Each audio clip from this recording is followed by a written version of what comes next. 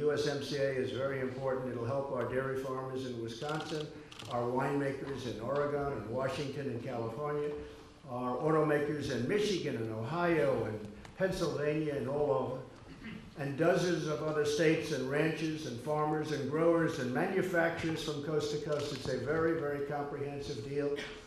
It's a deal that nobody thought we'd be able to get approved. I was able to get it approved, to be honest with you, by using tariffs. I was putting very substantial tariffs, or was getting ready to, on Canada, who was very tough to negotiate. You know, we think of, oh, Canada. Oh, Canada's tough. They're tough. And I said, look, you you're either going to do this or we're going to put 20, 25% tariffs on your cars that you ship in here by the millions. And every time we had a problem, we just said, that's okay, don't worry about it, we'll put the tariffs on. And they said, okay, fine, it's okay, we'll sign.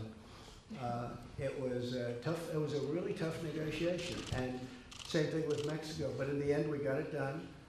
And it's a great deal for us, and it's a very good deal, I think, for Canada and for Mexico. They have to get it approved also, we have to get it approved, let's see what happens. And uh, I think it probably will be, it should, I think from our standpoint, uh, I know how much they hate me, but they have to hate me even more not to get this deal approved, okay? That's the only thing I can say.